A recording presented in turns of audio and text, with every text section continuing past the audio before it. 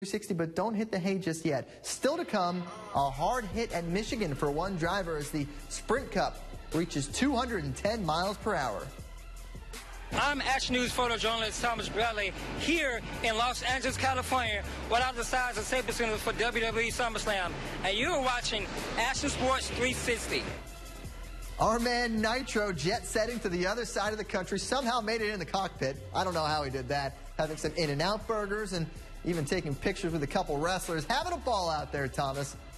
And we, of course, did a little bit of traveling ourselves recently. Some great looks at Chicago from Navy Pier. Detroit, get ready because Action Sports is on the way this week. Hey, Columbia. What's up? It's your boy, Tim Jernigan. You are now watching Action Sports 360.